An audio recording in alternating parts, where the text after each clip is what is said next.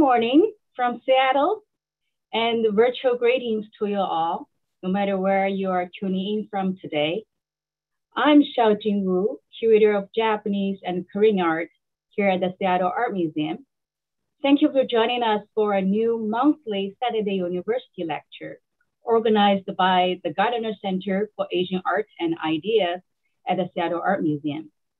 Before we begin, we would like to acknowledge that the Seattle Art Museum is located on the homelands of the Duwamish people and the traditional territories of the Squamish and Muckleshoot peoples. We further acknowledge the many urban indigenous people who call Seattle home. For today's program, special thanks go to our co-presenter, Elliott Bay Book Company. It has been such a pleasure working with Karen Maeda Allman and Rick Simonson of Elliott Bay Book Company, as well as Jane Byrne of the HarperCollins Publishers. And I learned just yesterday that the inspiration for this program was actually from Seattle's celebrated artist, Barbara Earl Thomas. Our downtown museum currently has an exhibition of Barbara's work on view, The Geography of Innocence, and it has been very well received. Thank you, Barbara, for your inspiring artwork and for initiating today's program.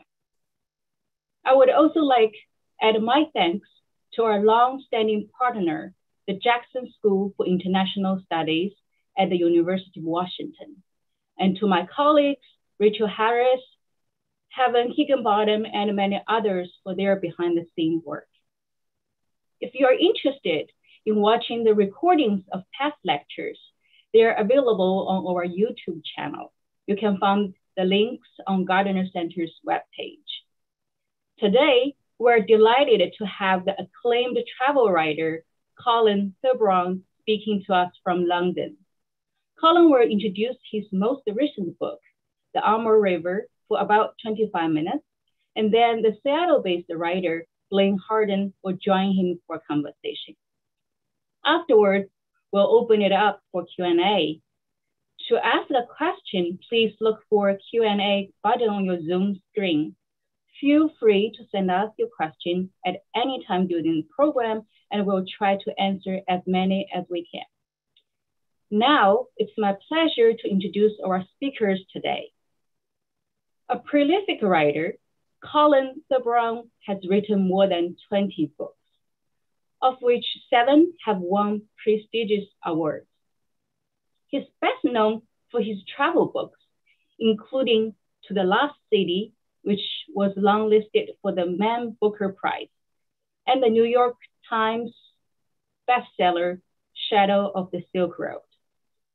Colin has traversed many remote places in Middle East, Central Asia, Russia, and China that most of us really have a chance to experience firsthand. And through his beautiful writing, he has shared with his writer, readers insights about those parts of the world he has so keenly observed. Today, we'll be hearing about his most recent adventure along the Amur River. After Colin's talk, Seattle's own writer and journalist Blaine Harden will be in conversation with Colin. Blaine reported for the Washington Post for 28 years from Africa, Eastern Europe, and Northeast Asia.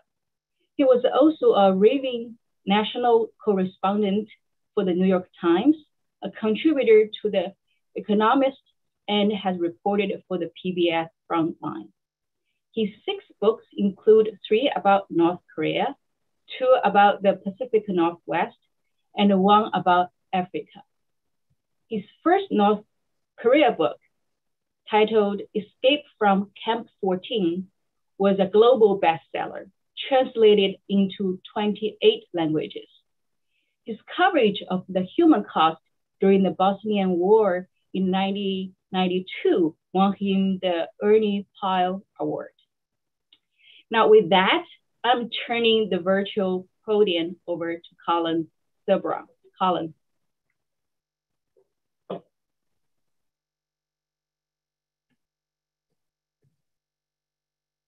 Thank you.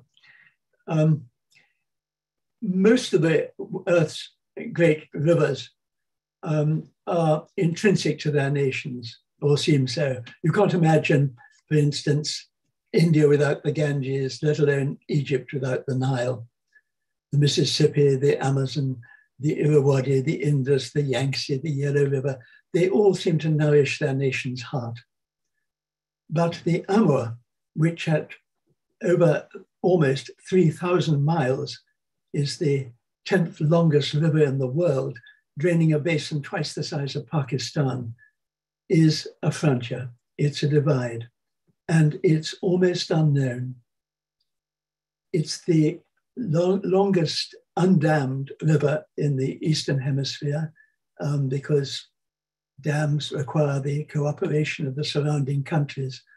And for over a thousand miles between Russia and China, it's the most heavily fortified frontier on earth. Well, some years ago, when Russia and China convened to decide where the furthest source of the great Amur River was, they discovered to their chagrin that it arose in neither country, but in the mountains of northeast Mongolia. Kevin, perhaps we should have a map now.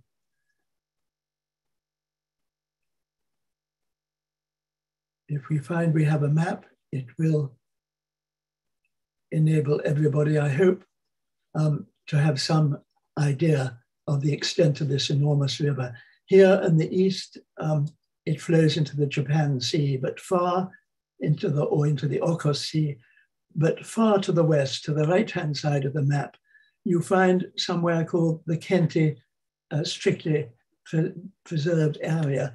And that's the mountains uh, sacred to Genghis Khan of northern Mongolia. In that far northeast area, the river is the little Onon, they call it the Holy Mother Onon. And it moves across the Mongolian steppe and crosses into Siberia. Um, and you can see it in a trajectory, a little arc, um, moving further and further eastward until it becomes the Shilka. And finally, it meets the Argun River and becomes the Amur proper. They are at the very top of the map, um, at, or rather at the top of the river's trajectory. You'll see it's the Amur. Um, so there it has a, a change of gender. It's no longer the Holy Mother Onon of Mongolia, but um, the Russia's little father Amur. It curves down in this huge bend um, towards Khabarovsk, and there it's the heavily fortified frontier between uh, Russia uh, to the north, of course, and China to the south. At Khabarovsk, you see it moving abruptly for 600 miles um, northeast to the Okhotsk Sea, and that is for it, its last extent. Well, my journey began um, about three years ago in August 2018. And this area, this whole area here, is where the great steppelands of Central Asia, the Mongolia side, you see, um, meet the taiga forest, the great forest area of Russia, a fifth of the forest area of the entire Earth. And this strictly protected area in the far left of that map, um, it's about 5,000 square miles near the Russian border. It's forbidden to travelers um, and uh, sacred, as I said, to Genghis Khan, who was born here and buried here in a tomb that is still unknown. We could probably leave the map now, Kevin, and go back. That's it. Well, a trusted agent had found me a permit to go into this area and two horsemen and a guide and nine pack horses. Uh, the monsoons had been very heavy that year, um, probably the, um, uh, the, the, result of climate change, um, but particularly heavy. And the whole land was treacherous, we were told, and we shouldn't go.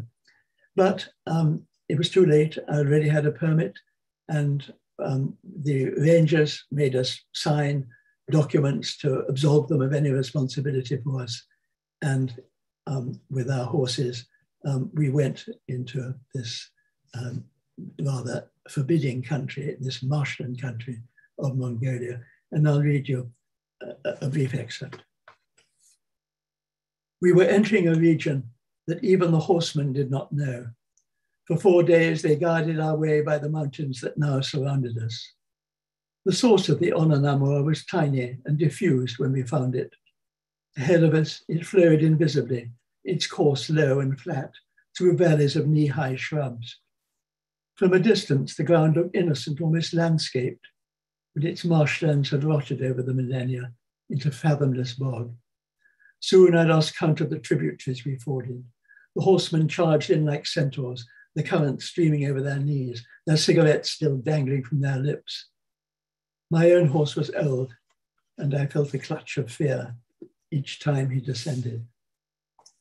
The swamps only deepened, and the horses floundered in the mire. Um, sometimes they panicked, um, often they fell and rolled. And for 10 days, um, nothing seemed to get better. But eventually, um, we emerged from this, I with um, two fractured ribs and a broken ankle, and was deeply relieved to find the ground of the steppeland at last solid under our hooves and the skies opened out. Well, this is a beautiful land, gorgeous with flowers, vetch, asters, clovers, gentians. And we were amongst the Buryat people, who were Mongolian people, um, who came south during the Russian Civil War, um, hoping to find a peaceful environment, hoping in vain as it happened. And here we took Land Rover and crossed eventually in, over the Russian border on a river that um, was still quite small and winding untouched between uh, small villages and um, little, little hamlets, really, nothing more. The Buryat people um, continue over the border. And um, at Sugo, which is a monastery, um, which is probably the furthest reach of Mongolian Buddhism into Siberia, um, you found an enormous monastery, but inhabited just by a, a single monk. And um, the here I found to my um, fear and astonishment that I was caught in the middle of the largest Russian-Chinese military exercise, a joint military exercise for 40 years, over 300,000 men deploying. And I, by pure chance, uh, stuck in this monastery in the middle of it. Um, eventually, I got out, but and I think I think this exercise was actually a political act, um, a signal to the West of what China and Russia might do together. Although possibly it was a Russian signal to the Chinese, since their contingent was vast, 300,000, and the Chinese small, um, a sign of what might be mustered on their own frontier. But the story of confrontation between Russia and China, um, it started uh, about 100 miles downriver, the little town of Nerchinsk. And here, uh, the Russians and Chinese confronted one another for the first time at the end of the 17th century. The Cossacks had moved at extraordinary speed, uh, 3,000 miles eastward across Siberia, all within 60 years. And they'd suborned or, or slaughtered the small tribespeople along their way. And suddenly they met a formidable enemy in China. They knew nothing about one another. Both empires were almost ignorant that the other existed. And when they came to make a treaty together, they had no language in common. It had to be conducted in Latin by a learned Pole on the side of the Russians and two Jesuit priests on the side of the Chinese. And they eventually came to an agreement. Uh, what Peter the Great, uh, still a teenager back in Moscow, wanted was to replete, replenish the uh, very depleted um, treasury of his country by trade with China. What the Chinese wanted was simply to get rid of these uncouth northerners who appeared out of the blue on their northern borders. So in the end, they did, in Latin, achieve what they had both wanted. The Russians got the trade concessions they wanted, but the Chinese, more significantly, um, had it established that a vast amount of lands north of the Amur River, the whole Amur Basin, was by right theirs. And it was a long time before the Russians began to niggle at this um, resolution, blaming Jesuit perfidy and the idiosyncrasies of geography. But for the moment, in the words of the Chinese ambassador, we made a common oath to live together in harmony. It was not to last. Some 60 miles downriver at the little town of Sretensk, um, the overland traffic used to overland from the west, from Europe and from European Russia, um, met the Amur River, where it first became navigable. So this was especially important little place um, in those days. Now it's been bypassed by the Trans-Siberian Railway, and although the river is 400 yards across, um, you can hear people talking on the far side. Um, it's very small, and its population is declining. In the 19th century, those vessels that carried people were iron-clad paddle steamers, which had been put together in the shipyards of, of Belgium and Glasgow. And one of the first travelers here was the playwright Anton Chekhov, who was ravished by the sight, the beauty of the sheer land around them. I've seen a million gorgeous landscapes, he wrote home. I feel giddy with ecstasy. And what liberalism! Oh, what liberalism! The frankness of its inhabitants amazed him. And the women were smoking cigarettes, and the old women were puffing on pipes. People were eating meat in Holy Week. And above all, they were speaking their minds one might reflect that there was actually uh, nobody much there um, to take them in charge. And there was nowhere for them to be exiled to since they were already in Siberia. Well, I spent a long time waiting for a boat that would take me down near to the Chinese border. I was found, of course, by the local police and interrogated for four hours. I think they were simply bewildered by the spectacle of an old man with a bad limp by then, speaking bad Russian and traveling like a gypsy, um, not a very likely spy. But eventually, the boat did take me downriver towards China, and I found myself looking straight across at the Chinese frontier, this barrage of, of great mountains. For in defiance of the Treaty of Nerchinsk, China has returned to the river. Uh, Russia, rather, has returned to the river and China retreated. In 1854, the belligerent Governor General of East Siberia, Count Muravyov, um, simply put together a flotilla of barges um, filled with cannon and Cossacks and sailed down the river um, and continued to do so for several years, um, basically uh, recapturing it uh, or capturing it anew for Russia. The Chinese could do nothing. By then, their dynasty was in helpless decline. And in 1858, um, an infamous to the Chinese treaty was forced on them at Aigun um, on the Chinese bank, in which all the lands north of the Amur were given to Russia.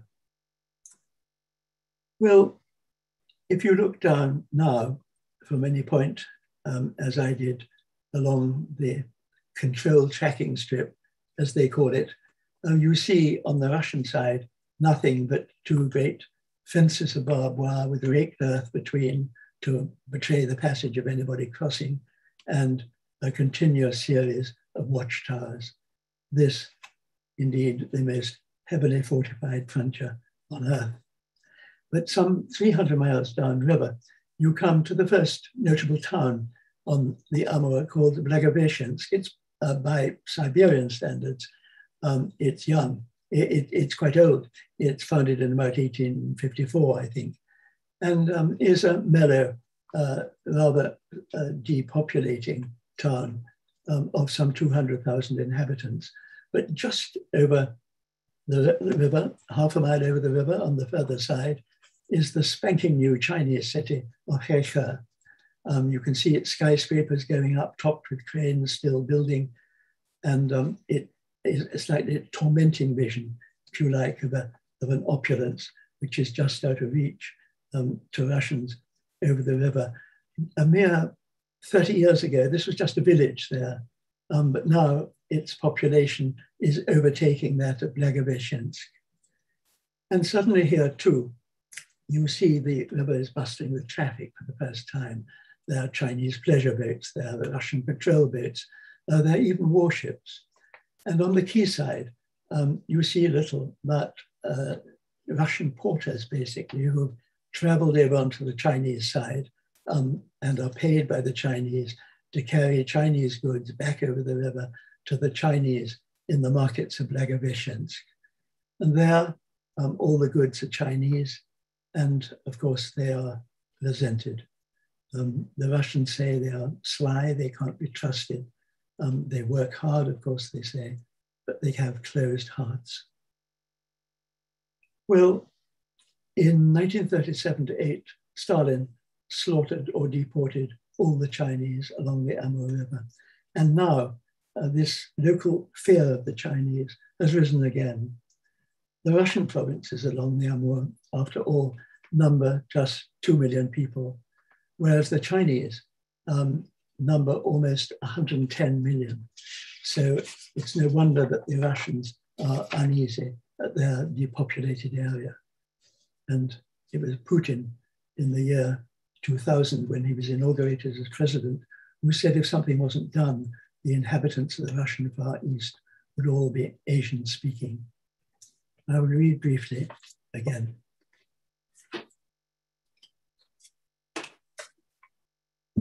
These fears have a troubled hinterland. For 30 years until 1987, the two powers lived in strident enmity. Early estimates of Chinese infiltration maintained that as many as 2 million had crossed into the Russian Far East. The wilder estimates have abated, but the fear has not gone. Illegal migrants may evade any statistics, people say, while an old anxiety surfaces that Moscow is far away and has abandoned them. A few years ago, a Russian documentary, China, a Deadly Friend, went viral on the internet. A vendor in the market, a well dressed woman trying to sell Siberian furs, murmurs to me that the Chinese are coming back and everywhere. She could not tell me exactly where because they lived unseen, waiting. Such rumors were stoked by alarmist local newspapers that the Chinese lurked in the forests in closed communities. And always they're seen not as persons, but as a composite mass. Images of insects and pollutants abound. But no such forest villages have ever been located. Recent statistics for the number of Chinese living in Russia's Far East assesses them at a modest 30,000. The Chinese themselves are reluctant to stay. The weather is bitter, they say. The police rapacious, the people hostile. Intermarriage is rare, although some Russian women declare preference for Chinese men more diligent and sober than their own. Above all, with the collapse of the ruble against the Chinese yuan, business opportunities have faded away. Well, one morning I cross to the Chinese shore. In midstream, where the current darkens, the river becomes the Heilongjiang, the Black Dragon River of China. And I find myself in Heihe, this spanking new city, where they're celebrating Golden Week, the anniversary of Mao Zedong's declaration of the Chinese People's Republic in the year 1949. It's um, bursting with celebration. Um, the old signs, there were old signs of them welcoming the Russians. There were topiarized Russian uh, Orthodox cathedrals, little cathedrals. Um, there were um, topiarized Matryoshka dolls and fading signs in Russian, but there were no signs of Russian virtually at all. Um, they simply, with the fallen ruble, they couldn't afford to be there. And in the great marketplace, the free trade zone attached to the city, um, which had once teemed with uh, thousands of Russians, um, uh, there was nobody. It was, it was quite derelict. A Russian friend on the further side of the river, the Russian side, had found me a Chinese uh, acquaintance um, who he said would accompany me on the Chinese shore. Otherwise, he thought I would be assassinated or, or, or cruelly cheated. And uh, Liang, when I met him, um, was a, a, great relief. He was a rather owlishly sad man, a middle-aged man, little cloth cap, out of work. Um, in fact, he looked a bit down at heel like me. I think we reassured one another. And on the Chinese shore, I had no idea what lay ahead. Um, as far as I knew, it might be bristling in arms like the Russian side. Um, but I, as we continued, Liang and me, um, we weren't stopped. There were no roadblocks. I could see white watchtowers down on the river, but little else. Liang said he would accompany me for 500 miles. And after that, I'd be alone. Anyway, the most striking thing initially was that the straggling homesteads and vegetable patches of the Russian side disappeared and everything was farmed, everything was cultivated. There were maize and wheat fields to the horizon and plastic shrouded ranks of vegetables. And Liang, um, who was depressed um, and, and out of work, he suddenly perked up, um, partly because of the Chinese restaurants that were there.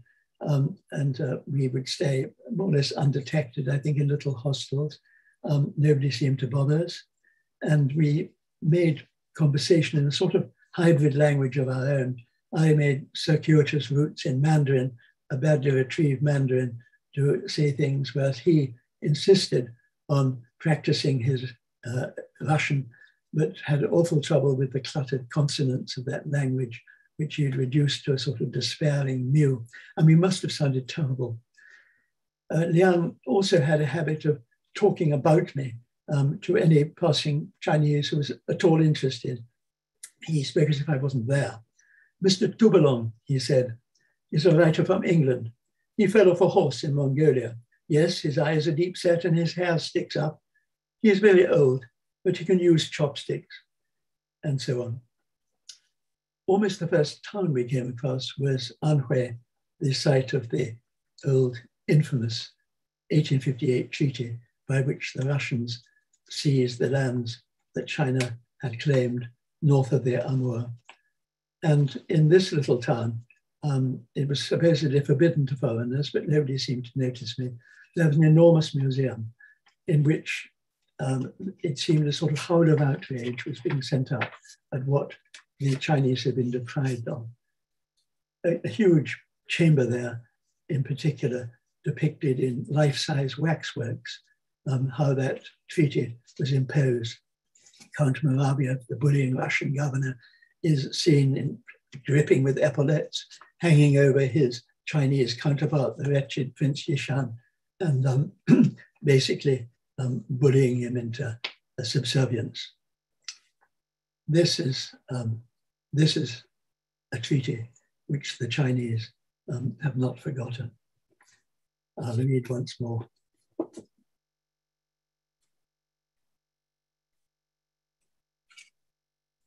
It happens at the height of what China now calls its century of humiliation, in which Britain, France, and the United States, and soon Germany and Japan, wrenched concessions from a dynasty in sickly decline.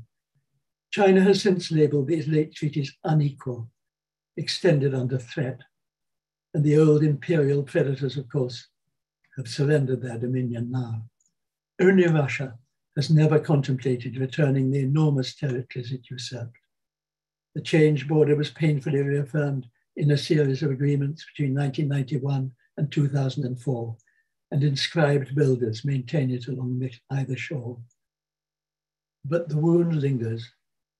During the Cultural Revolution, when the loudspeakers of Red Guards bombarded the Russian bank with propaganda, a sleeping hatred resurrected. Even now, with the border officially settled, the Chinese held to their unequal definition of the Aigun Treaty. For the next few days, a series of buses carried Liang and me east along the Amur. There were no police and no blocks. My fear of being turned back or arrested dissipated.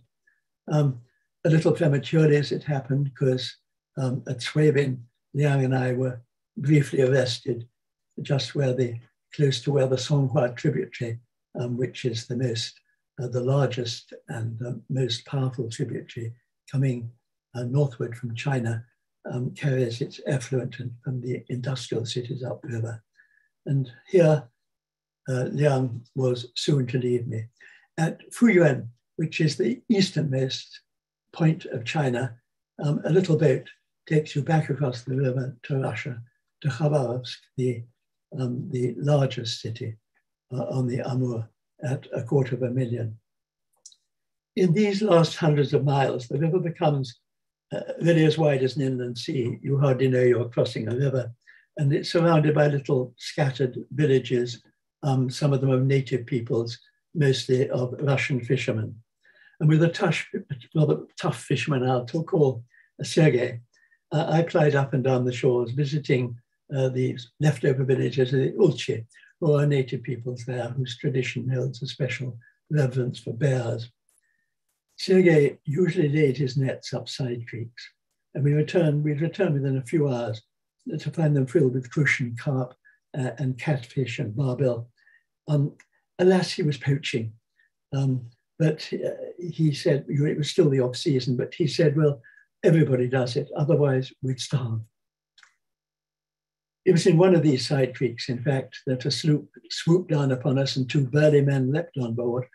Um, but it turned out they were only wanting to share Sergei's vodka. They helped us haul in our nets. They suggested a better place for fishing, and then their sloop swooped away again. I asked Sergei, who the hell were they? Uh, he said, the police. And of course, it's hopeless. Um, the local patrolmen are interleaved uh, with the villagers and they either turn a blind eye to what they're doing or they extract a small bribe. Well, the river continues getting broader and or, or it appears more, more deserted um, all the way. And for the last hundred miles, um, it turns into a kind of, or seems to turn to anybody traveling it into a, a kind of wilderness. Scarcely a ship crosses it here. Yet here in the mid 19th century, um, it became the stuff of an exhilarating dream. And I'll read you for the last time.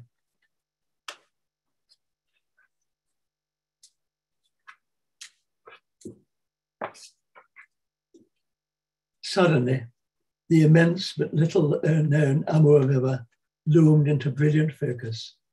Here would be Russia's archway to the Pacific, a titanic waterway flowing as if by providence from the belly of Siberia into an ocean of infinite promise. The trading concessions wrenched from China by the British and French, the prizing open of Japan, and above all, the arrival of a young and vigorous America on the opposite coast would surely transform the Pacific into an arena of world commerce. With Muravyov's seizure of the Amur from helpless China in 1858, the vision of an Eastern destiny became euphoria the Amur, it was declared, will become Russia's Mississippi. Soon, St. Petersburg was rife with reports of foreign merchant ships making for the Amur. The lower river valley was declared a free trade zone. And the fulcrum of these hopes was the newly founded port of Nikolaevsk at the Amur's mouth. Life was reported delightful. The Nikolaev stores were selling Havana cigars, French pate, and cognac. Susceptible minds twinned the town with San Francisco. Then, within a decade, harsh realities broke in. Far from being a riverine highway, the Amur was revealed as a labyrinth of shoals, shallows, dead ends, and for seven months of the year was sealed in ice or adrift with dangerous flows. Ships sank even in the estuary. As for the Amur shores, for hundreds of miles, they were peopled only by a sprinkling of Cossacks, natives, and subsistence farmers. Many forcibly settled on poor lands and open to the floods that still ravage it. For its inhabitants, this became a cursed river, not the little father of Russian's affection, wrote a dismayed naturalist, but her sickly child. As for Nikolaevsk, the last port bordering the Pacific, almost overnight it became a byword for boredom and immorality. In a gloomy hotel overlooking the main square, um, all I found was a guard um, on a closed circuit te television watching empty corridors. In my room, two little vodka glasses stood by the bed, and my sheets were printed with red hearts and roses. I've been allotted the honeymoon suite. But in the morning, Nikolai seemed to have belonged to a, poorer and to an earlier Russia, to Soviet times. The quayside was half derelict, and the Amur flowed huge and indifferent past it out into the Pacific. So stark was this aura of earlier times that I began to feel I was being watched and followed as I used to be. In fact, the FSB, the descendants of the KGB, had started to follow me and wonder who and where I was and what I was doing. It was time to go home. Thank you very much.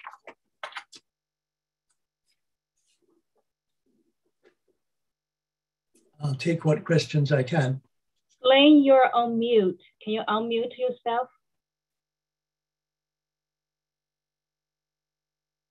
All right, I'm back. Can you hear me, Colin? I can. Okay. Um, I enjoyed this book immensely. Uh, I did not know about the existence of this river or its location, um, but I learned a great deal the one thing that uh, you didn't mention in your talk, although you did refer to it in passing, was the the the, the trials, the physical trials of, of, of making this journey. Um, you fell off your horse early uh, in the trip, broke two ribs, fractured your ankle, and two or three times during the course of the of the writing of this book, you mentioned that you would look in a mirror to discover a, a surprisingly tired looking elderly man who you didn't really recognize. And the reason I bring this up is because a few years ago, before he died, I interviewed Richard Kapuscinski, the great Polish journalist and traveler. And he told me this he said, With the coming of age, I feel travel as a kind of torture. It is a feeling of hopelessness, the waiting, waiting, waiting when you are young, you don't feel the pressure, but when you're older, that pressure, pressure is terrible to sustain. And you write at one point in your new book travel seems an exercise in failure. Please discuss Does your work get harder as years go by? Oh, what a question. Um, I think I didn't feel like Kapuscinski.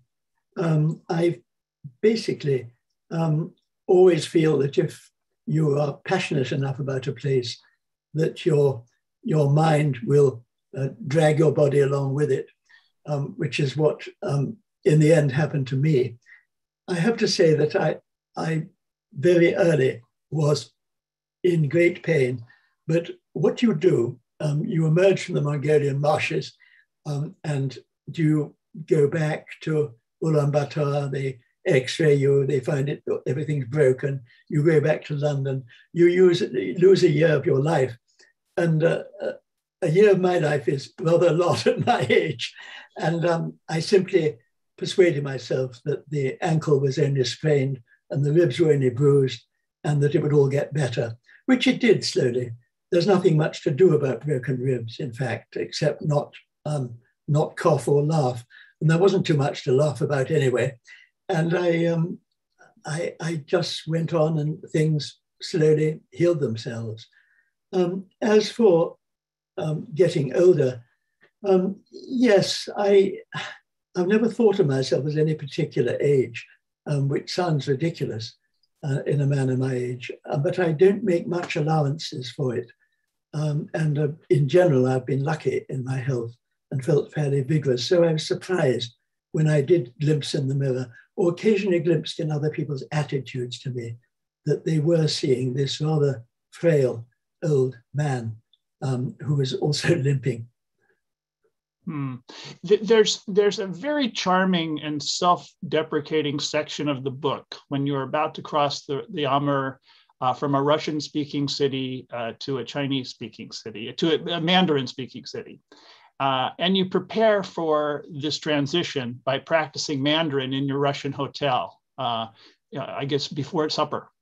And then at dinner, uh, as you write in the book, quote, I mistakenly asked for the lavatory in Mandarin, then order a meal in Russian, and chat to a bewildered wait- waitress in a deranged mixture of both. I have no idea what is going to come out of my mouth. But in fact, as I read the book, you use Russian and Mandarin to do a lot of your work. Uh, is it correct to say that your journey and your book would have been a failure without your gift and your discipline for languages? Well, that's generous.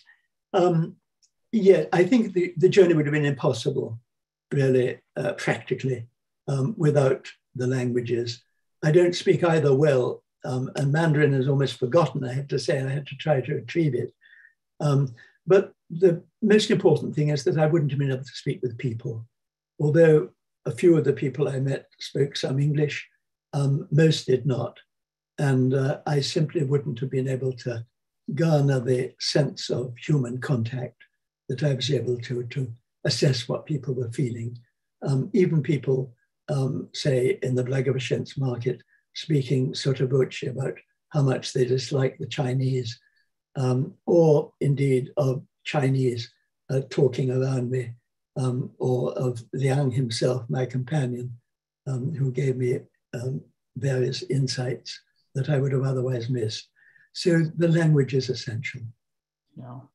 Um, talking uh, uh, uh, about geopolitics just a little bit, the river separates two vast and increasingly unequal uh, nations. Uh, the Chinese are getting richer, while the Russians are not, particularly the Russians in the in the Far East and in Siberia. You write in the book, uh, "quote China officially pushes conciliation with Russia, while educating its youth in another possibility." That's the end of your quote.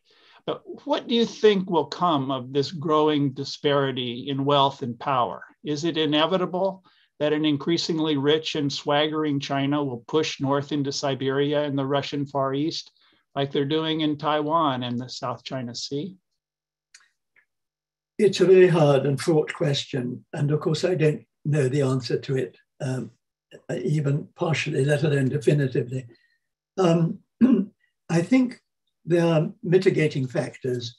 Uh, one is that for the moment, uh, China relies on Russian oil, gas, timber flowing southward out of Siberia. And there's a, and Russia, of course, desperately needs uh, the Chinese currency. So for the moment, there's a sort of harmony there, um, or at least an, an official accord. It's more along the Amur itself, I found, that there is real open um, hostility and anxiety about what is happening. Uh, there are various other things come into play. One is that this whole part of China, Manchuria, although it's quite heavily populated now, um, is not an area much favored by Chinese uh, for the future. That, of course, is all in Shenzhen in the south, um, where the powerhouse of, of Chinese industry uh, and commerce is. And although this area was um, of Manchuria, uh, close to the Amur River, if you like, which to south, was an industrial, um, uh, an industrial initiative by Mao Zedong in the 1950s, um, wanting to turn it into a big industrial area supported by large collective and state farms. Um, all that has rather faded away. And so there's not a a real pressure of Chinese at the moment, um, certainly in terms of population, to cross the Amur in the way that the Russians fear. So there's a sort of standoff there. And I would say that um, there's nothing, um, nothing imminent about, uh, about conflict in that area. It's only that the Chinese have not forgotten that it was taken from them. And that museum that I was visiting, for instance, was what they call a patriotic education center, in this case built in 2002, which seems to be educating the Chinese in a history that is a good deal more complex and potentially unhappy uh, than what Beijing and Moscow are officially concluding together. Mm -hmm on the ground from your interviews and, and, and that really is the source of your book is your conversations with with with regular people that you encounter i get the feeling from your book that the striving chinese working classes who live near this river really don't give a hoot about the Russians who live on the other side. Um, they're much more interested in themselves and their own emerging prosperity. Uh, they see the Russians, it, it, there's almost a caricature of the Russians as poor, unskilled, alcoholic, rather hairy, and mostly irrelevant to their future. On the other, on the north side of the river, however, the Russians do care about the Chinese, not because they like them, but because they envy and resent them. Do I have this right as you perceived it from your travels? Yes, absolutely. Um, it's a very good paraphrase of exactly how the two two sides, sides, if you like, countries uh, feel about one another. Um, exactly. There's there's another uh, uh, sort of generalization that you give about Russia that I think is really interesting to an American audience. You write in the book that Russian culture and politics are still strongly influenced by two centuries of subjugation that began in the 13th century under Genghis Khan and the Golden Hordes. You say that, uh, quote, Ivan the Terrible, Stalin, and, Put- and Putin became the offspring of Genghis Khan forever separating Russia from Western Europe. Um, did your travels on this river reinforce that insight into the Russian character? Well, of course, when I said that, I made it a little bit fanciful mm-hmm. um, that this could conceivably be so. Um, there is an idea, um, and I think always has been um, since the 17th century at any rate, that Russia um, was held back um, from European enlightenment um, by the Mongol oppression. It's, um, it's quite a controversial idea in Mongolian studies now, in, in the studies of the, of the, Mongol empires. But um, hard to say that, um, you know, I hate to generalize too much about the Russian character. Of course, it's dangerous as we do about um, any culture or character but um, it's, I think, more apparent in government um, than it is in ordinary people. That, as the Russians themselves sometimes say, um, you know, we um, we need we need autocracy, um, we need governance. Um, this is dangerous territory to talk about, but the Russians themselves will say it sometimes mm. about, about themselves that their their autocracies in some way traditional and natural to them. It's possible to um, lay that um, at the at the, the feet of the, the Mongol, Mongols all these years ago, but it would be a dangerous speculation. Right. And I only, I think, play with it as, as a possibility or as a, as a, a, a, a little. Um, mm, I'd like to I'd like to ask a few questions about travel writing. Um, you are perhaps one of the greatest experts uh, on earth on this subject because of your because you've you've been involved in organizations of travel writing and because of your your terrific uh, books. Um, the, the, the one the first question that, that comes to mind is you know in our era of climate change should people follow your example and travel by carbon spewing airplanes to far corners of the earth? You, know, you were asked about this recently when you had lunch with somebody from the Financial Times. And your answer was, you know, that honestly, that's a good question. And my only defense is that I think that mainly my books put people off traveling. Now, what did you mean by that? well, they're not like guidebooks. They're not encouraging or educating people um, to take their own journeys. They're accounts of journeys that um, nobody in their right mind is going to take. Um, people are not going to go on this river, um, nor is my writing inviting them to do so. Um, it acknowledges that it's very tough, it's often very poor. And in general, my travel books have been like that. I, I think they've not been those that um, encourage tourism um, very much the sort of books that people read, I think, instead of going.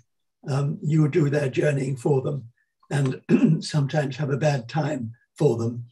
And I, I think quite seriously that that is uh, one of the effects of my book.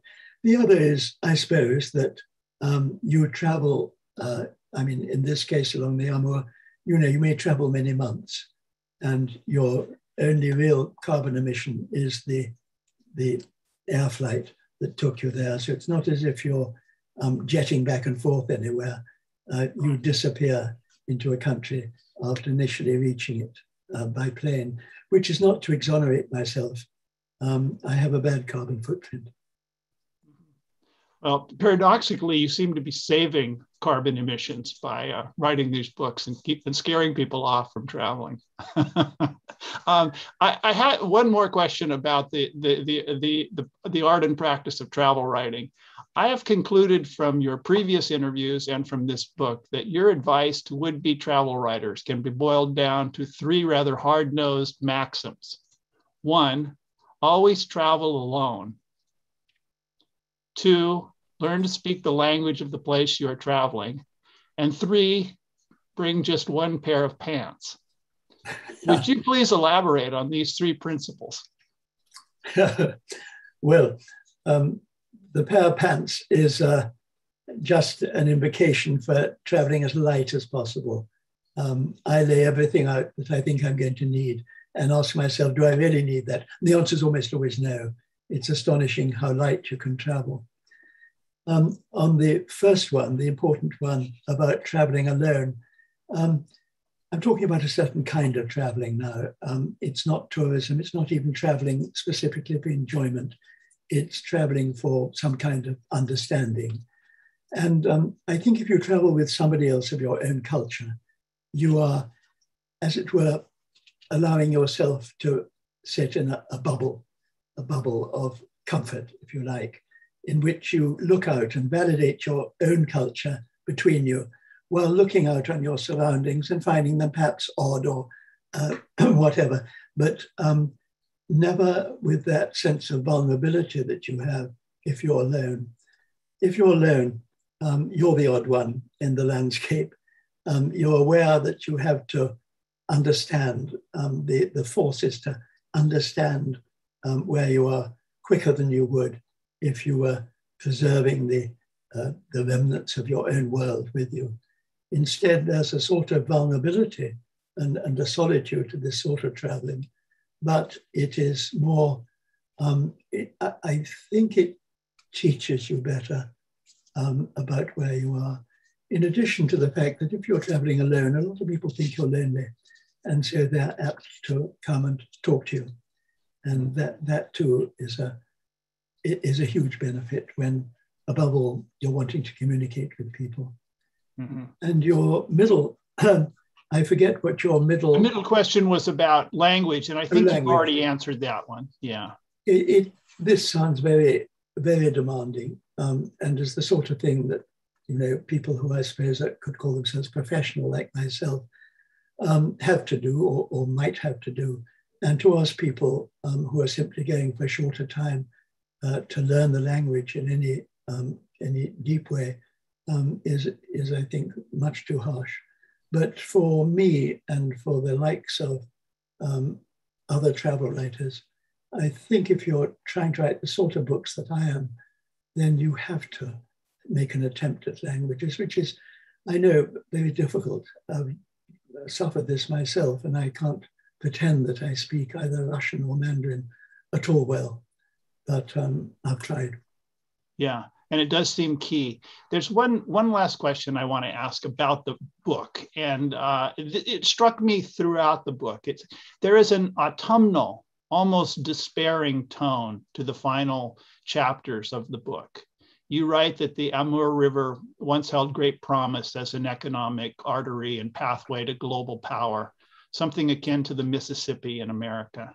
But what you found was an often frozen, often unnavigable river that has become a lonely highway to nowhere. Uh, interesting mostly because of the Stalinist slaughters and cultural genocide that occurred along its shores nearly a century ago. Near the mouth of the river and the conclusion of the book, you write, the solitude of its end reminds me of no river I have ever seen. Is this the saddest of your travel books? Um, I don't know. It may be. Um, uh, partly because of the, the river, this great river, the only one large river in Russia that flows west east, um, has flowed into uh, an area that holds no promise. Um, if you like, the center of gravity for the uh, for Russia and the Pacific has moved to Vladivostok, far to the south, which is a harbor free of ice flows and so on.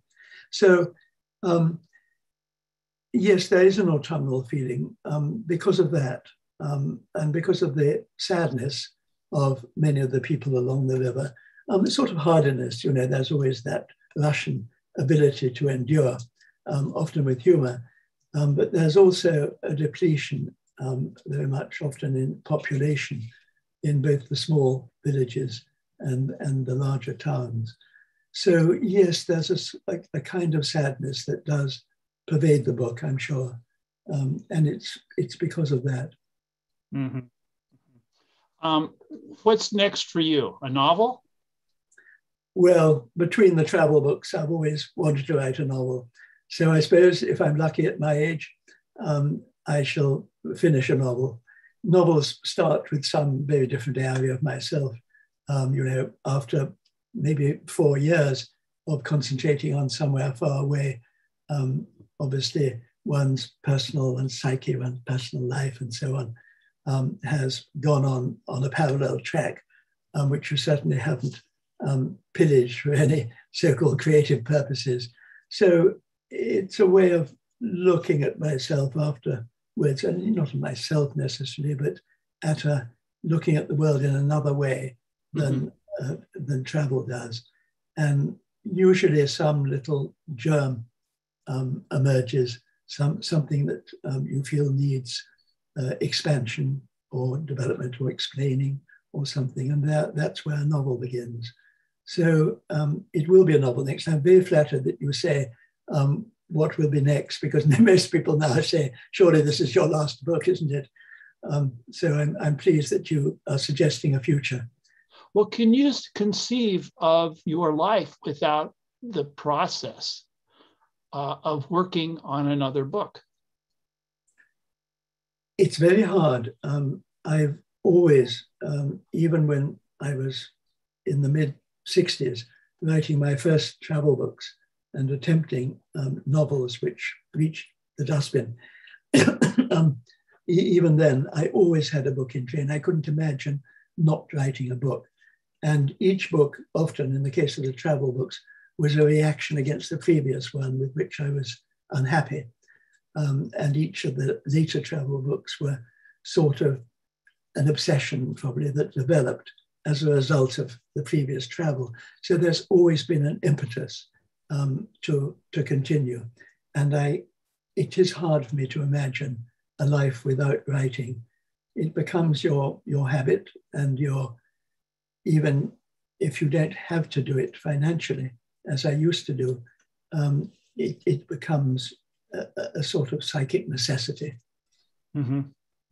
Well, you know, I, I, I, the book was marvelously well written. So, um, you know, I it doesn't seem to me that you're, you're losing a step. Um, at least in, in the literary uh, aspect of the writing. I, I, I read it, it, the FT story suggested that you might be uh, sniffing after a story uh, with the uh, declining ice, declining glaciers in Chile. Uh, it wouldn't be for a travel book or even for a novel. Um, oh. I, I, I, I, know nothing of the cultures um, of. South America. Um, I don't speak Spanish. Um, uh, that would that would be for pleasure. Oh, Just um, traveling, I hope, with my wife, um, a, a, little bit toughly, but uh, but basically for pleasure there, there are some questions that I see here from from from people, and let me ask a couple of them. I can see here on the on the chat line. Uh, uh, uh a recent uh, piece in the Times Literary Supplement suggested that travel and writing, such as you have done all your life, is a version of British imperialism. Um, and this is a question I'm sure you've you've, you've battled with before. Uh, could you do that? Do so again. well, of course, it's it is in its way, an absolutely valid critique. And I'm a, natural target for it. Here I am, a public school educated uh, white male, uh, traveling in areas of the world which are much poorer than my own by and large, and of course, you have power in a way, in as much as by traveling in somewhere like uh, Siberia or China, you are seeing these countries in a way that they usually cannot see yours. And you're meeting people who don't have the privilege that you do of being able to travel away. So you have the advantage, if you like, of knowing something about their world, and they um, almost nothing of yours, um, except what is purveyed, often um, very skewed uh, through the media. So there, there's an imbalance of power, but what do you do about it? Um, to imagine always that these confrontations or these, um, these relationships of one foreign person with another are predominantly uh, those of power is, I think, a, a, rather paranoid way of looking at it. Um, if we always think in those terms, then no human communication, is possible. Um, every relationship we have, if we examine them, even towards one another in our own countries, has an element of power imbalance. And this is vastly exaggerated, of course, when you're abroad. But travel writers can be going for many things. It certainly shouldn't be, or uh, is, is not, I hope in my case, any, um, any desire to impose anything on others. It may be the exercise of a tradition um, that can be very ugly, but it's possible to travel for understanding, um, for desire for mutual friendship, even, which is always one of the happiest things um, of travel when across the borders of, of politics and uh, culture and race, um, you find common ground, common human ground with somebody. These things are all, to me, the major, the, the major benefits um, of travel. In, uh, if we are to talk about this fraught area of, of power and neo-colonialism, mm-hmm. I can see where where that's coming from. And it may be that my sort of traveling, in which somebody has an adventure and records it in a, in a tough part of the world, um, will be in decline. It possibly already is. Um, travel writing can go in all sorts of directions. It's a very flexible medium, and it needn't be uh, what I am doing. But in the the practical way you put together your books, it, from what I've read, is that the travel itself it amounts to perhaps even less than a third or a quarter of the time that you've spent in the from conception to execution of one of these books. The bulk of the time is spent in libraries uh, researching the, the all the facts surrounding sort of the superstructure of what you encountered in your journey and then the writing, the polishing of the words. Um, is, is, that an accurate uh, portrayal of, of, of how you pull these books together? Yes, absolutely. Um, usually the research for a book um, take me at least a year and a half. Um, and in the case of this one, um, attempt to uh, retrieve half forgotten languages. Um, then the journey itself may be typically five months, perhaps.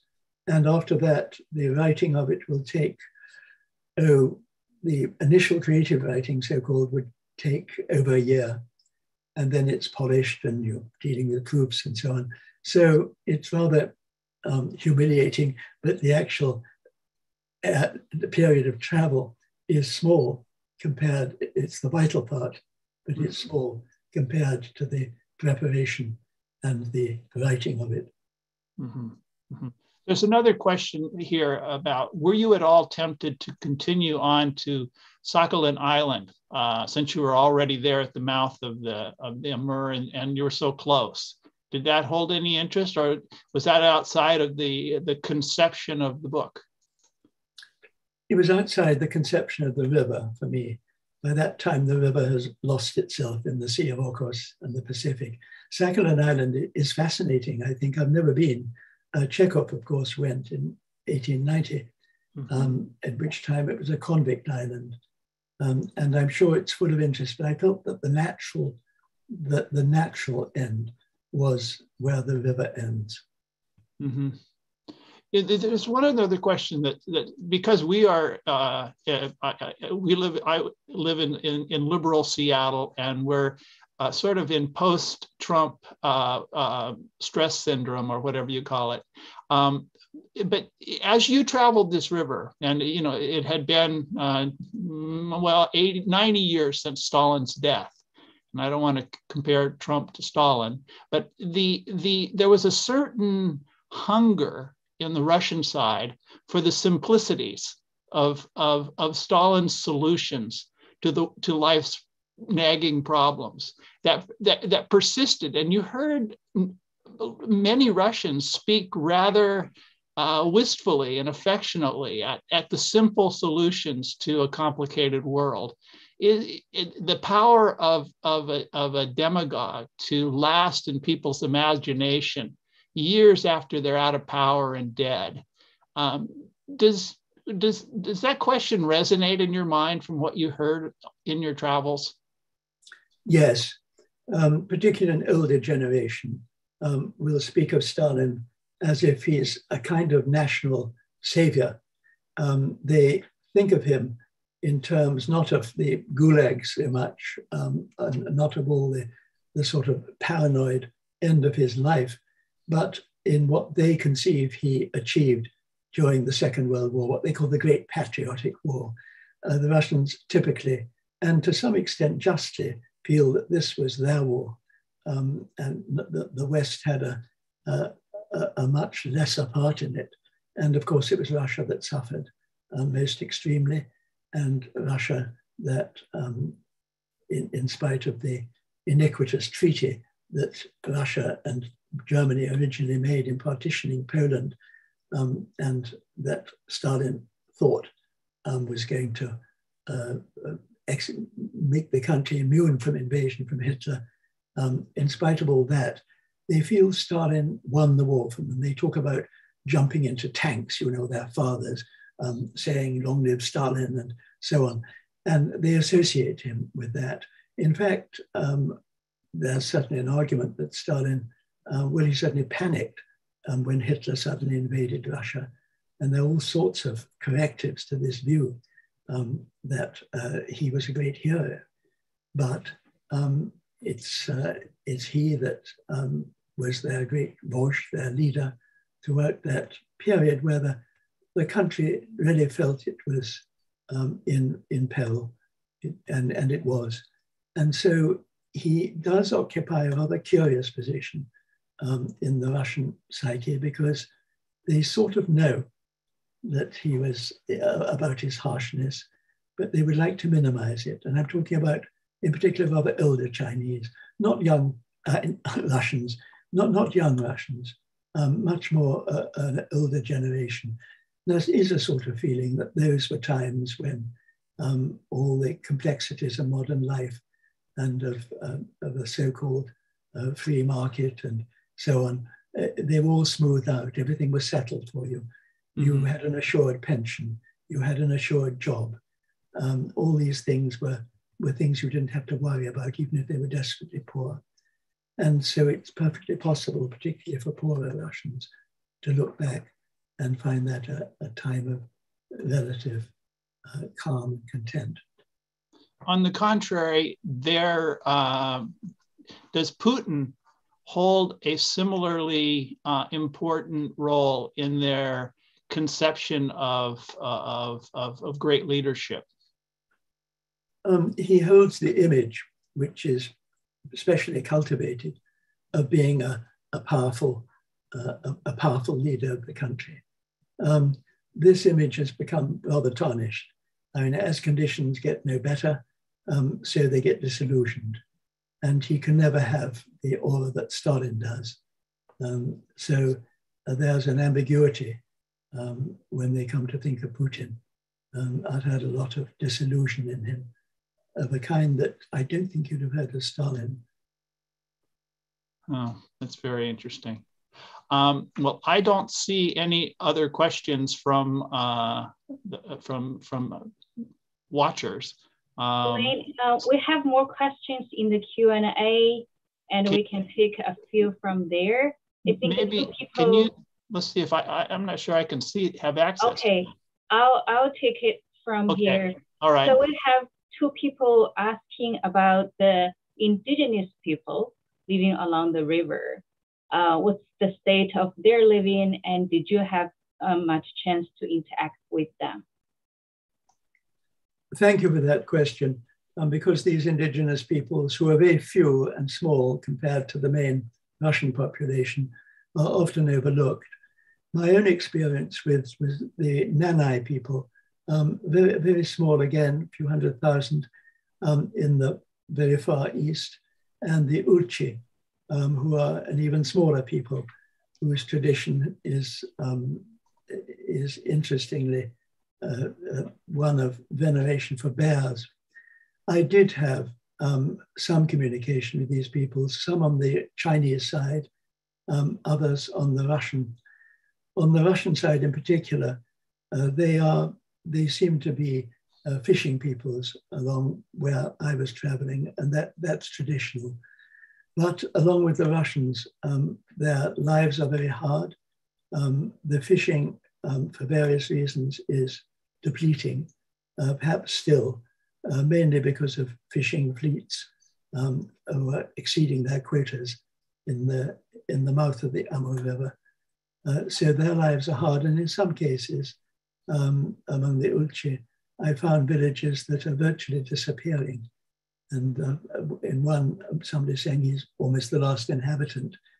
So it's not a it's not an easy picture for these peoples. And um, I think in particular, there's this ugly uh, Soviet residue that their children were taken from them very often, if they were reindeer herders or whoever they were, um, and were forcibly educated in what they call the internat, uh, the uh, schools which were supposed to turn them into good Soviet citizens.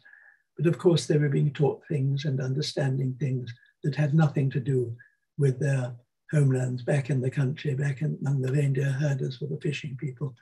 And so there was a great, um, a, great estrangement between children and parent, very often between child and parent. Um, that is not as, I think, as widespread as it was. But always there's this um, feeling amongst them that they lost their culture to the Soviet culture and then lost their Soviet culture uh, to the post-Soviet world that followed with Gorbachev and Yeltsin. So their position, and it's probably harder for them to get work than it is for the Russians, than the native Russians. Um, it, it, it's not happy. I found the questions now, uh, the, the Q and A, and there, there's one about wildlife and birds. And towards the end of your uh, journey on the river, it became much more interesting from uh, the, the, the, abundance of, of fish and different wildlife. And you, in particular, talk about bears. And I want you to uh, question, uh, uh, address the question of bears. You, you write in the book that that uh, there's there's myths among some of these indigenous people that that bears take uh, local women as wives and, and actually sire children, and that when uh, a bear kills a, a, a, member of some indigenous tribe, that that in, individual male who's been killed by a bear, he returns as a bear or uh, just uh, talk about uh, bears and wildlife along the river. Well, um, I wish I'd seen a bear. I never did. I was always being warned about bears um, and had hoped to come across one, but, but never did. Um, the, uh, the, the bear worship, which it almost was, um, was conducted above all, I think, by the Ulchi. And they, for instance, I mean, this is um, an indication of how their culture has stagnated, really. Um, they used to have a ceremony um, and in the 1990s, I think, uh, there was a little ceremonial uh, village um, where bears were routinely kept and pampered by the women in enormous cages, and then were, well, not so enormous, rather cramped cages, and then were taken out and ritually shot to death. And it wasn't, um, it was meant to be a sort of pious act in a way, and that the spirit of the bear um, would return to its ancestors and the tribe, they would eat the bear. Um, the, the, the, indigenous peoples, um, their men at any rate, would feast on the bear and be granted its strength. But it, typically, um, that was 20 years ago that that um, ceremony was allowed and has since been closed down. So those sort of initiatives have, um, have I think, um, met a, dead end. Um, in general, I found some uh, native peoples who were anxious to recover um, their culture, but it seems to be being recovered in a rather um, restricted way um, and as if it's a little irrelevant to ordinary life. As for other wildlife, um, it, was there all right. I didn't encounter it very much myself. There are these beautiful cranes in the upper Amur, the Onon, um, various types of crane, migrating birds, which are, are lovely. Um, but uh, of course, it's the fish you're most conscious of um, on the lower Amur. And these are interesting because they, um, they combine the, uh, the Arctic um, species of, of, of uh, North Russia, and the taimen and the salmon and so on, with the uh, southerly water species of China. So you get a, a unique mix um, in which you get a, a, creature called the snakehead, uh, a, a, southerly creature which can survive um, without oxygen in the open air for several days, um, uh, together with the uh, Kaluga, say the great, great um, Kaluga sturgeon of the, the Russian waters. And these, these creatures, um, to some extent at least, intermingle and can all be found in a single river. The great fish is the salmon, the dog salmon, which starts its life high up the Amur in, in little creeks. And then, uh, as caviar basically, then it, it flows down the river to the Pacific and it remains in the Pacific for four years, probably even more. Um, and where it develops into a, a, quite a large salmonid fish. And then by some mysterious instinct, um, that those fish will find their way back upriver to the place where they were born. It seems almost by some sense of smell, even. And nobody is absolutely sure. And there, um, the uh, adult fish, uh, the roe, the roe gets fertilized by the, by the male uh, fish who sprays it by the male salmon, and the adult fish float to the surface, um, dead, where they get scavenged by bears, and the whole cycle starts again. Yeah, the uh, in the Pacific Northwest we have one great river, the Columbia, which was the premier salmon highway on Earth until uh, the 1940s when we put in these giant hunks of concrete and systematically decimated the salmon uh, and the uh, it's it's it's it's a story that hasn't happened on the Amur, as you say, because it, it, there's different governments on different banks of the river, and nobody can agree to build a dam. Is that right? Yes, that's right. Um, there's suspicion, um, and it's not. I venture to think out of any consideration for the salmon um, or or any other fish. Right. It's because the countries, Russia in particular, um, is suspicious of such moves by the Chinese. There's scarcely a bridge across the river, let alone a dam. Um, when I was there, there was um, the first real bridge being completed uh, near Blagoveshchensk.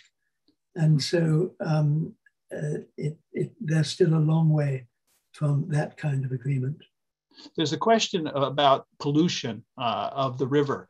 It, from, from the reading of the book, it sounds as if most of the pollution in this river comes from industrial China.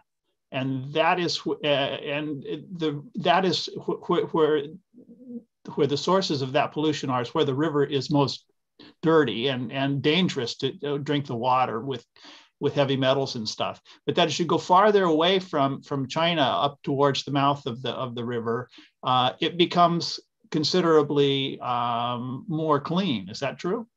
Yes, I think so. In general, it's not to say that there isn't some uh, sometimes illicit gold mining uh, quite high up the river, And certainly where the Zeya River comes down from Russia, um, there's pollution. But on the whole, um, it's a byproduct of the wealth of China and the poverty of Russia uh, that this is so.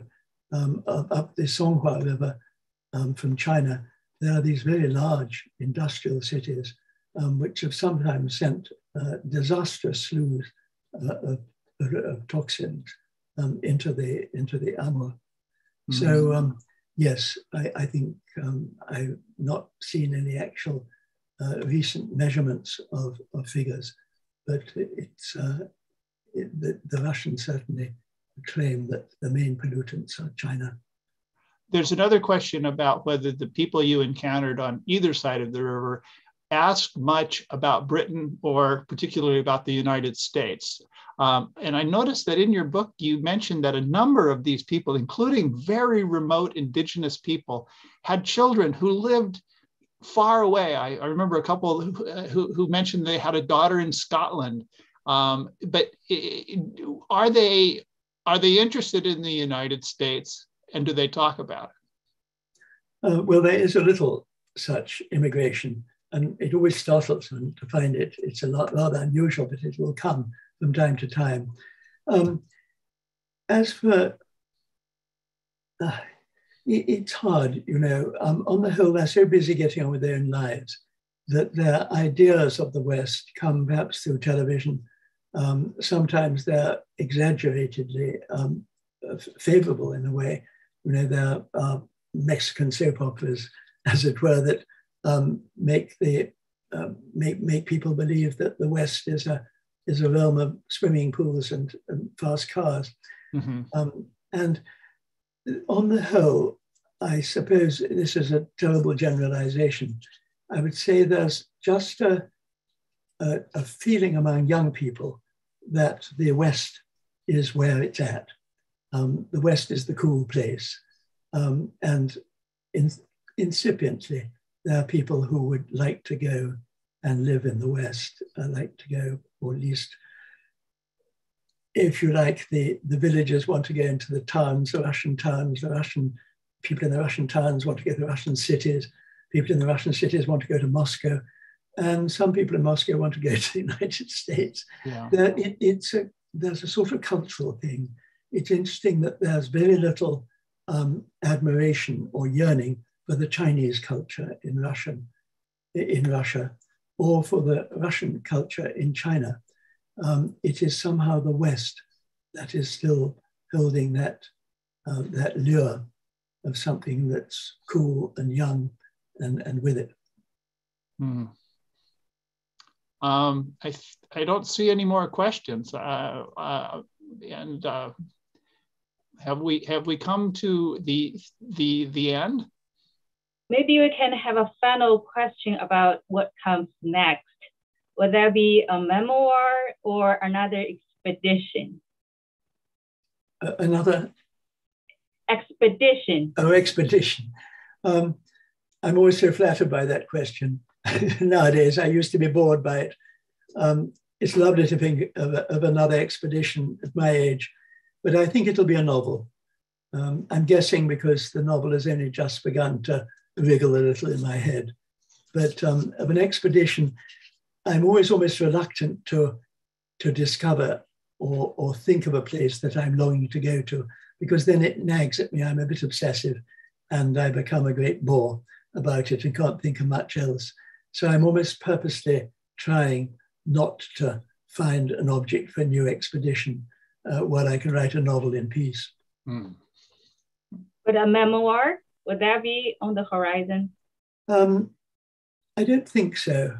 No, I, I suppose if it seems like autobiography, then um, I'm not particularly keen. I, I feel the, more, the sort of more important parts of my life are there in the travel books. And so I doubt if there'll be a memoir. Thank you so much, both Colin and Blaine, for such a wonderful conversation today. Kevin, can we have the last slide, please?